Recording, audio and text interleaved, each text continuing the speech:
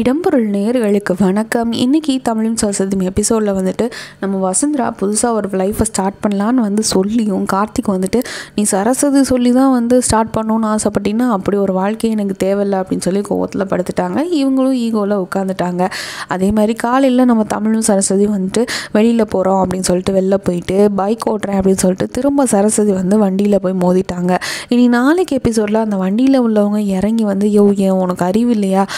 பொம்பளை பொம்பளை பிள்ளைய போய் ஓட்ட விட்டு என் வண்டியில் இடிக்க விட்ற அறிவில்லையா அப்படின்ற மாதிரி அந்த டிரைவர் வந்து கத்த போகிறாரு ஆனால் பார்த்தா அது வந்து நம்ம தமிழோட ஃப்ரெண்டாக இருக்க போகுது.